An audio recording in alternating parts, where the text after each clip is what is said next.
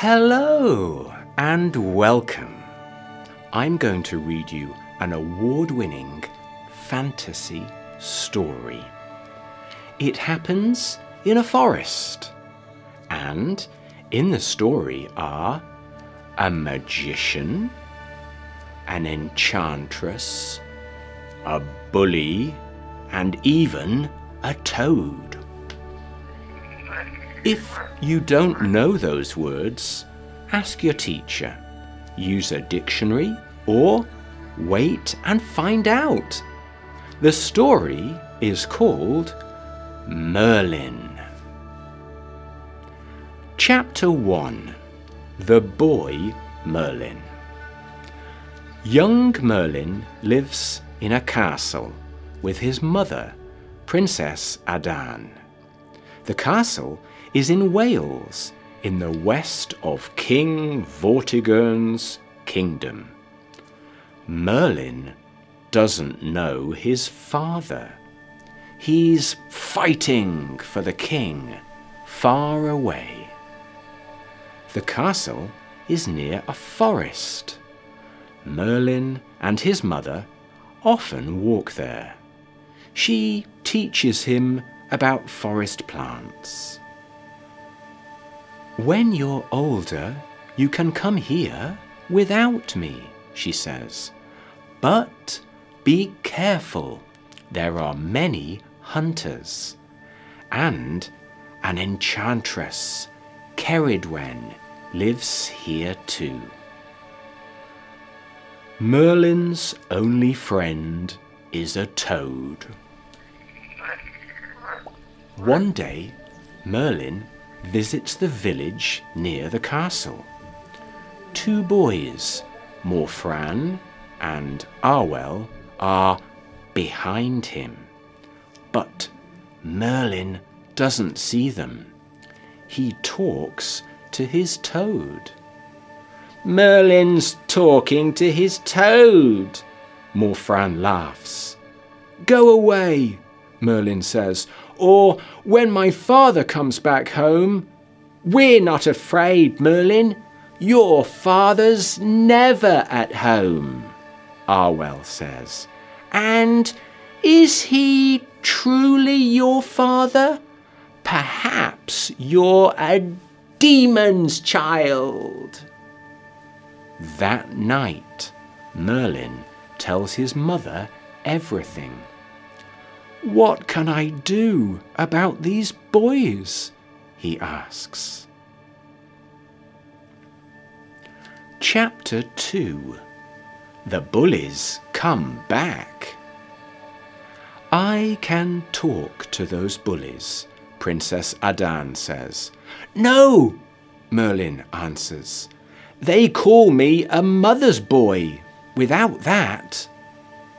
Then your father can speak to them after he comes home, she smiles. But be careful with Morfran. He's Ceridwen's son. Next week, Merlin goes to the village shop with his mother. He sits near the door with his toad in his hand. Suddenly, Morfran and Arwel jump out in front of him. It's Merlin and his toad, they cry. The toad is afraid. It falls to the ground. Let's see your toad jump! Ha ha ha! Morfran laughs. He runs after it. When Merlin's mother arrives, the bullies leave. That night, Merlin sees his father in a dream. He is sitting under an oak tree after a fight with the king's enemies. I'm dying, Merlin's father tells him. Father, no! I need your help with some bullies, Merlin cries. When they bully you, walk away, his father says. Look for the biggest oak in the forest. There's something important near it. Next morning, Merlin tells his mother about the dream. Listen to your father, she says quietly. When Merlin meets the bullies again, they take his toad. Say goodbye to Mr. Toad. Ha ha! Morfran laughs. Merlin remembers his dream and walks into the forest. He lives there for days and eats forest plants. Then, one day, he finds the biggest oak in the forest. There's a little house near it. In front of the house, there's a boy. He's sitting near a cauldron. Who's that? Merlin thinks. Chapter 3 Ceridwen's Magic Potion. Merlin watches the house from behind the oak tree. Morfran! A woman cries through the open window. Yes, mother, the boy says. The woman comes out of the house. oh no, Merlin thinks. It's Morfran and his mother, the enchantress, Ceridwen. Is the potion ready? Ceridwen asks. Soon, mother, Morfran answers. This potion can give magic powers to the first drinker of it, she cries. And that is you, my son. Morfran smiles. I need to find a bottle. Then you can drink the potion from it. We must do it quickly before your father comes home, Ceridwen says. She goes back into the house. Merlin moves nearer, but Morfran doesn't see him. Just then, Morfran takes something out of a little bag. Oh no, Merlin thinks. It's my toad. Ha ha! Morfran laughs. Here's one more thing for the potion. Stop! Merlin cries. He jumps out and takes the toad from Morfran. But at the same time, he hits the cauldron with his leg. It goes over onto the ground. Some of the potion falls onto Merlin's hand. Merlin! Morfran cries angrily. Merlin smiles. He moves his hand up to his mouth. Wait! Morfran cries. Don't drink that! But Merlin quickly puts the potion in his mouth. Suddenly, a magic white light comes from Merlin's head. Just then, Ceridwen comes out of the house with a bottle in her hand. She sees and understands everything. She looks angrily at Merlin. You must die for that, she cries.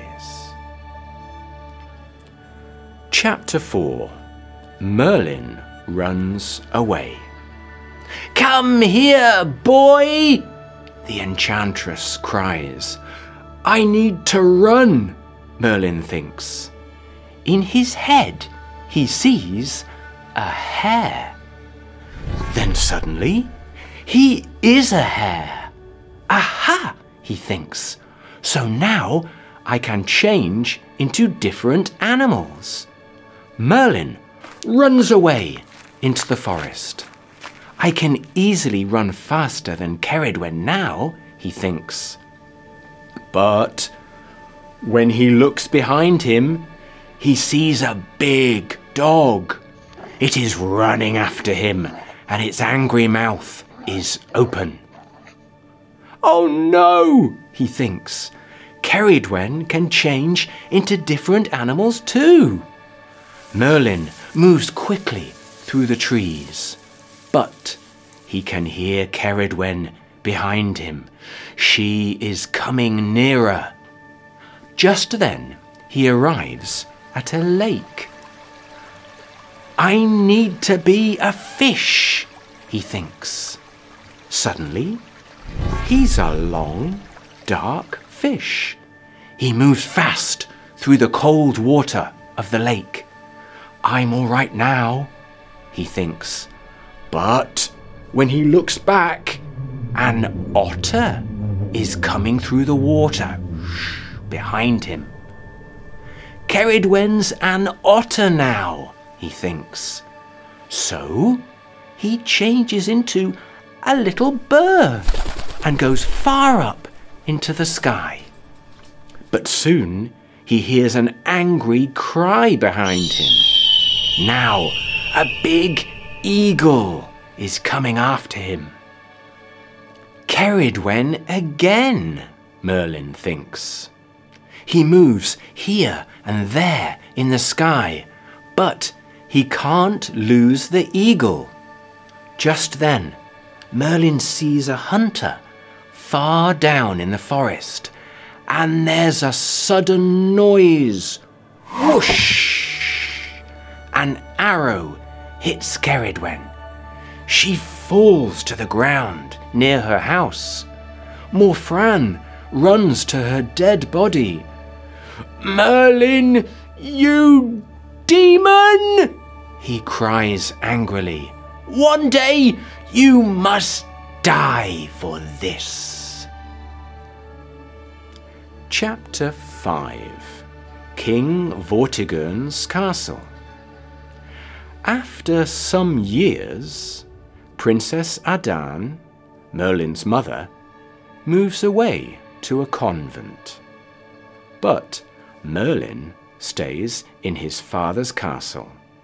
He reads books and works on his magic powers. I want to be the best magician in the kingdom, he says. At first, Merlin learns to change the weather. Next, he learns to see through walls. Then, he learns to look into the future.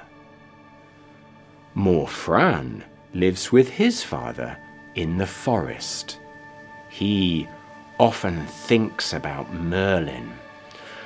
Perhaps I can kill him with one of my mother's old potions, Morfran tells his friend Arwel. But the old potion bottles have nothing in them, all but one. And this potion doesn't kill people, Morfran says. It makes ill people well again. So Give it to somebody important, Arwel answers, and pretend to be a magician. Soon after that, King Vortigern visits Wales after years of fighting. He has a new wife, Ronwen, but she is ill. Morfran hears about this he goes to the king's men with the magic potion. Ronwen is well again after she drinks it. So Vortigern calls for Morfran. You can be my magician, the king says. Ronwen is happy in Wales. She wants to stay there. Let's make a castle on this hill, she tells Vortigern. Vortigern begins the new castle, but the walls fall down again and again. Make me a magic potion and stop this, the king tells Morfran. I need the blood of a boy without a father for that, Morfran answers. Now, the son of a demon lives near here. Give me some men, and I can bring him to you.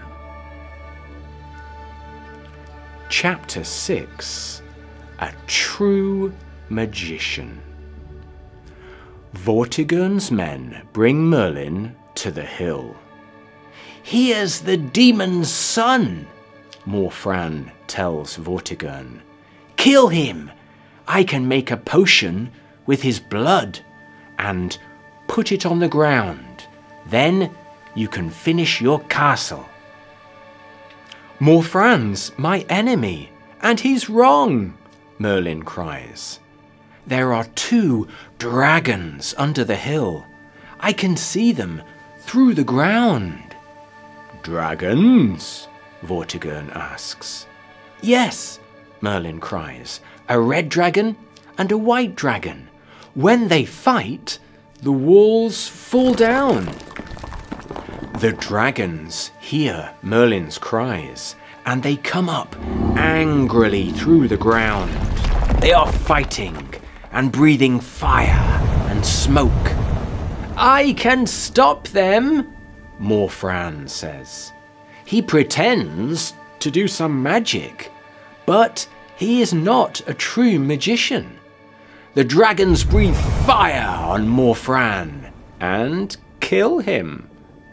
Merlin quickly changes the weather. Suddenly, there's a wall of rain in front of the dragons. They move up into the sky. When the rain goes, the dragons are far away. You're a true magician, Vortigern cries. He finishes his castle and calls for Merlin. Tell me about the future, the king says. Merlin closes his eyes. You, Vortigern, die without any children, he answers. Dark years of fighting come after that. Then I see a sword with magic light in it, a king with a wonderful castle, and his beautiful wife. I'm that king's magician. Be my magician, Vortigern cries. No, Merlin answers. I must work more on my magic. I must be ready when my king and my country need me. Then Merlin changes into a hare and runs away into the forest. That's the very end of the story. You can find Merlin on Oxford Reading Club, the digital library from Oxford University Press. It has hundreds of stories for learners of all ages and levels of English. Farewell.